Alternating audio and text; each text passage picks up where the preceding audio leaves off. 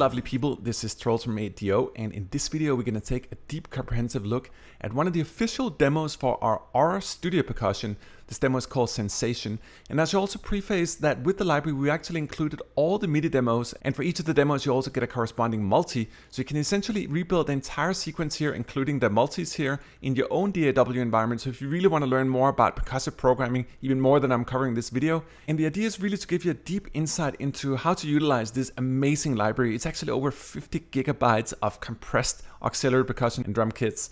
And there's an enormous amount of things you can do with this library. It's a true next generation library. One thing is that it contains a bunch of multi-samples that we sort of used to in the current generation of sampling, but we also discovered an entirely new method in the creative process of creating the library that takes this whole thing here to a whole new stratosphere in terms of sampling and is actually impacting a variety of our next projects coming forward because once we discover this method, there is no going back.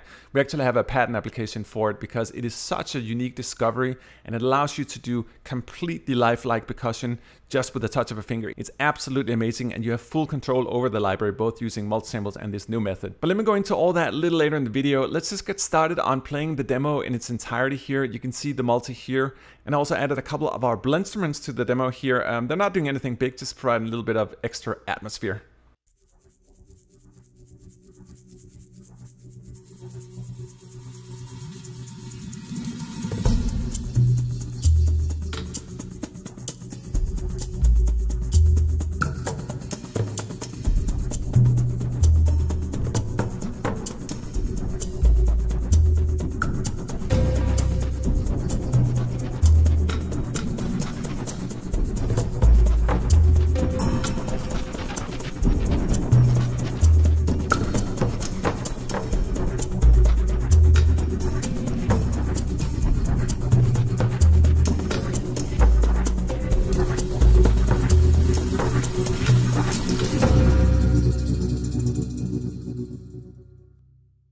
So as you can hear, the library is alive, it oozes with life. And the best way to describe the Aura techniques is essentially to imagine that you have a loop, the loop is sliced and then it's recorded in velocity layers so you can crossfade between the different velocity layers of the loop. But that's just the beginning of the technique. So for example, if you want to have a shaker going like you can actually sculpt it here using a mod sequencer. But more importantly, we also record it at four different tempos. So it's not just that you have velocity layers that you can crossfade in between with the shaker. Let me just show it quickly on the 32.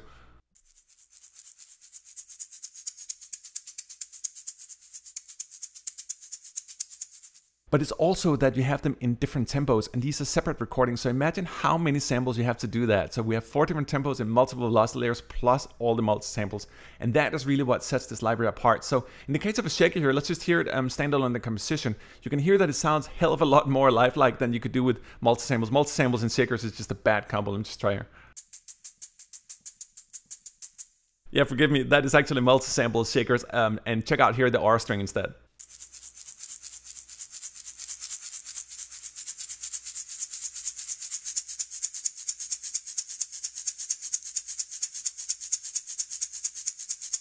That, my friend, is impossible to do with multi-samples, and you can probably see me down here when I'm moving the mod wheel that you're noticing here the dynamics that you're crossfading between all the different layers here, and it's a super method, and of course, it adapts to your DAW tempo, and if you want to have triplets, you just click T here, and everything is going to be triplet-based as well. So it absolutely adapts to anything you want to do. Next up here, let's move on to our one of our cinematic kits. This is our boom menu. So these are sort of very, very deep percussive sounds, and you can see up here we've got multi-samples. I like to use them for sort of bass accentuation, so you get more of that boom And don't do too often actually because they kind of dominate the mix, but they're awesome just to have lie in the background for sort of dominating on the ones.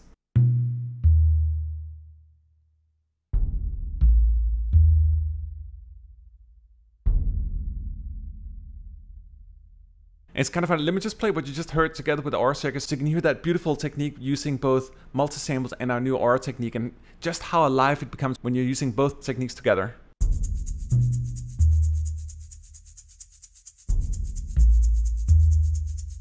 And as you can see down here, there's a bunch of different instruments just in this one patch here.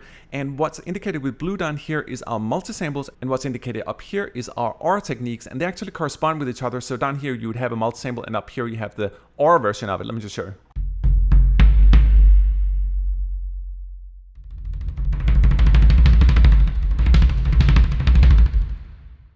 And again, you don't want me to play that last part with multi-samples. It just doesn't work because these things are connected and they're recorded connected. So you get some of that natural bleed.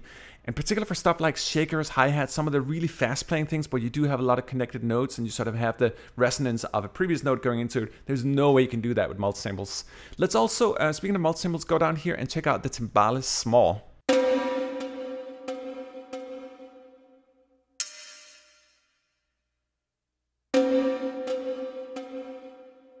And obviously that's just some multi-samples here. Uh, let me just show you because we actually have these kind of rolling articulations on most of them for timbales, for example. It's really cool to have that, that kind of sound. So you can sort of play the normal and then roll on in that way. And of course you also have these as aura samples.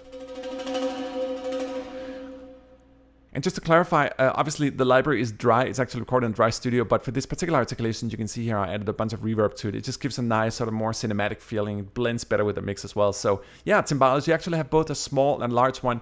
And it's a good example um, for a lot of the articulations. For example, if you look at our bongos or congas here or cymbals, you actually have multiple articulations within the main articulation here. So let's go back to the timbales. There's actually lots to select from. For example, our snares up here, we have multiple snares all recorded with the same style, all that stuff. And speaking of multi-samples, let's move on here to the udu, which is one of my favorite instruments, sort of a clay-based drum you can do these sort of beautiful tonal tricks with it. And this is really a good example actually. When you look here at the Udu plate, you're to be noticing that up here we have our aura techniques and down here we have the multi-samples. They're playing side by side. So in the beginning you can hear a roll that's using the aura techniques and then you're going to see me use multi-samples as well. And this is why we've lined them up in the same pad. So you got the multi-samples here and the aura right here and it's just great for doing the combo.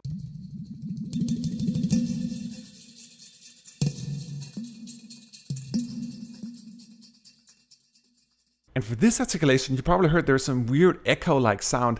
That's actually using our new textural delay technique, which is something we introduced in Blendstrument. You have over 130 alternative convolutions, or we call them textural delays. And what's happening is that normally if you have a delay, you'll only delay the sound itself. But when we add these textural convolution delays, you can actually alternate the texture of the delay. So it's not just the instrument delaying, but you actually get that sort of weird alternative delay sound going on. And those are also tempo synced. You can actually sort of dial in how you want it to fit your composition in terms of its tempo here as well. So textural convolution delays that are synced to your DAW.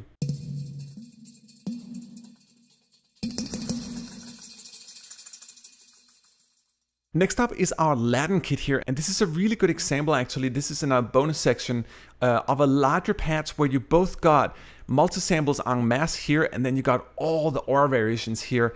And in this particular instance, you're gonna be noticing that I'm using aura techniques up here, and then I'm using multi-samples down here, and that would be indicated by multi-samples down here and the aura techniques up here. And it's just a beautiful combo, and again, you can just sort of just hold one finger down up here and then you can play the multi-samples together with it and it's great for a patch that has so many different sounds here so this is essentially just a combo kit with a bunch of auxiliary percussion and let me just play the sequence a little bit here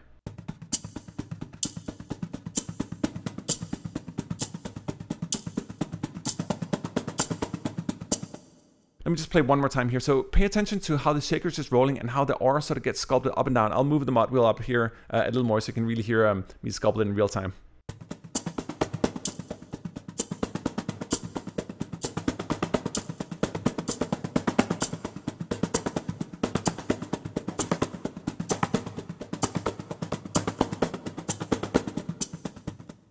Last, let me also show you one of our drum kits here. As you can see, we have a large assortment of different drum kits, and they're actually built ground up from the multi-samples here. You can see we have different kick drums here, we have snare drums, we have toms, and all that stuff. So we actually decided to build um, bonus kits here. So you actually got full drum kits in the library as well. And they are also aura based here. So you can see the multi-samples down here and you can see the aura techniques up here. And it's absolutely amazing for stuff like cymbals, hi-hats. Uh, let me just show it quickly here, just play them isolated.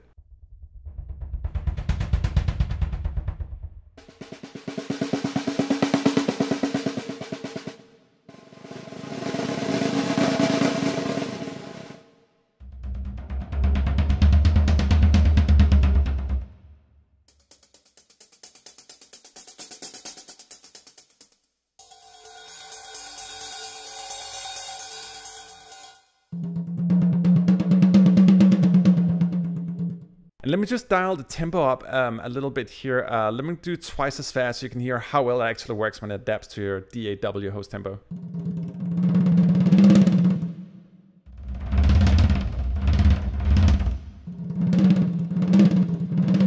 Okay, that's almost too fast. Let me just uh, dial it down here a little bit so we get into humane territory. But as you can see, everything completely adapts to tempo. We are at 200 BPM right now playing 32th notes.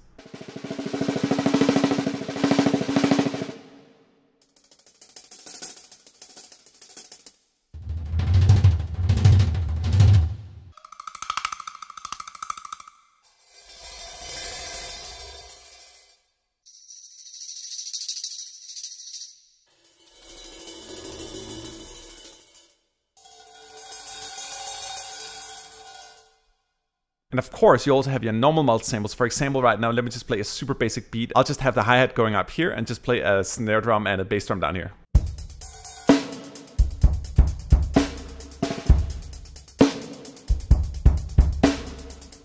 And of course, if you want, you can also play the whole thing just with multi-samples down here as a traditional drum kit.